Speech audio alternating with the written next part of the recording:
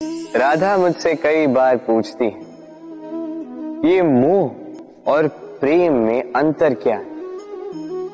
दाऊ भी समझ नहीं पाते। आपके मन में भी ये प्रश्न चल रहा होगा कि अंतर क्या है इस मोह में और इस प्रेम चलिए, बड़ी सरलता से मैं आपको ये समझा देता एक और स्मरण कीजिए एक मछली का, जो जल में रहती है।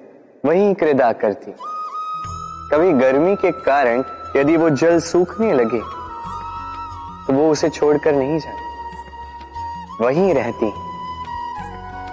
भले ही जल कम होने के कारण वो वहाँ पर तड़प तड़प कर अपना प्राण त्याग दे। स्थान नहीं त्यागती। दूसरी ओर होता है भवरा। जो किसी पुष्प के आसपास केवल तब तक मंडराता है, जब तक उस पुष्प में रस हो।